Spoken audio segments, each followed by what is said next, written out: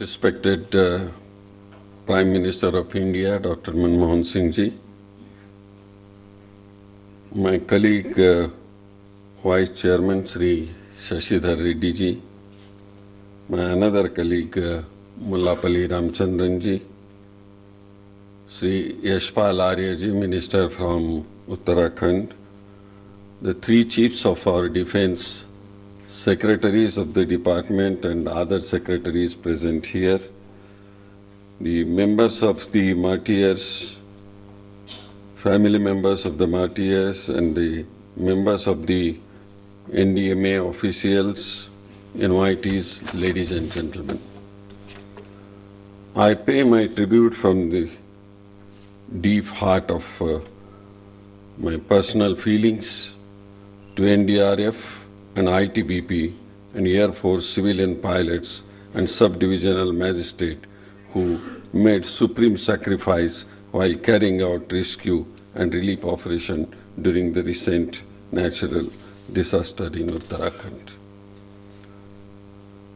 This Formation Day meeting of uh, NDMA is an important milestone on the path that we have traveled since the Disaster Management Act came into force. Regarding the response efforts in the aftermath of the natural disaster in Uttarakhand, it is satisfying to note that all the ministries of the Government of India extended the fullest possible support to the state government. It was a noteworthy achievement wherein about 1.5 lakh people who were stranded could be evacuated and brought to safe places in the shortest possible time. The Uttarakhand natural disaster, which was unprecedented in both scale and magnitude, has also raised some serious concerns. We need to see that the lessons of Uttarakhand disaster will not go in vain. There is a need for all the Himalayan states to take up mitigation measures the framework of the Disaster Management Act 2005 enables the state government to revisit and reorient their state disaster management plans to ensure preparation for preventing such intense devastation, loss of human lives, and destruction of property.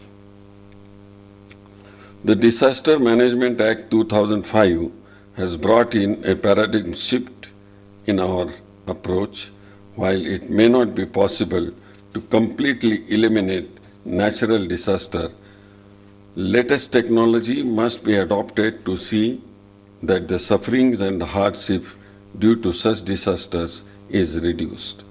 The need of the hour is to improve our early warning systems and ensure rigorous enforcement measures.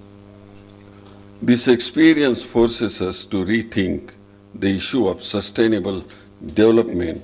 New disciplines are also emerging at the interface of the traditional boundaries. One such area where we need to concentrate is to enhance our hydrological observations and forecasting capability to predict flash floods in the hilly regions.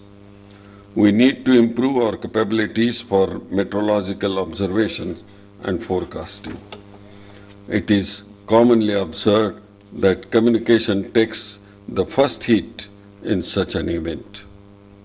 It is therefore necessary that the authorities have effective communication tools and fail safe connections. I would like to compliment the NDMA and on its achievement so far in its endure in safe and disaster resilient India by developing a holistic, proactive, multi-disaster oriented and technology driven strategy through a culture of prevention and the mitigation, the preparedness and the response. However, NDMA will need to devote itself to these national challenges in the years to come it will have to take up the leadership in guiding the central and the state government agencies for intervening disaster management aspect of all developmental activities.